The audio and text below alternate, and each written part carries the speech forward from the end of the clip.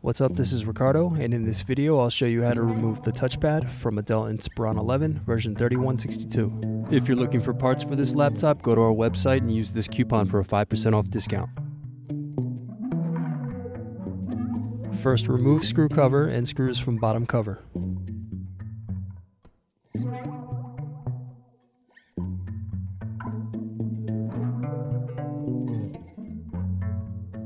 Then unsnap bottom cover, working your way around the edges of the base.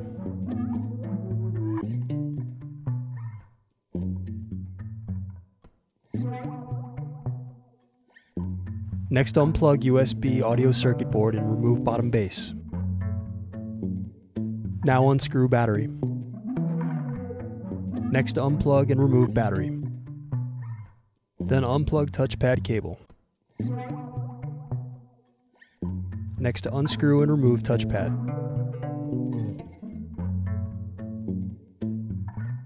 Need more? Check out these other tutorials. For batteries, click here. For motherboards, click here. For wireless cards, click here. Thanks for watching. If you enjoyed this tutorial, give this video a like and subscribe to our YouTube channel. Check the video description below for links to written tutorials and replacement parts.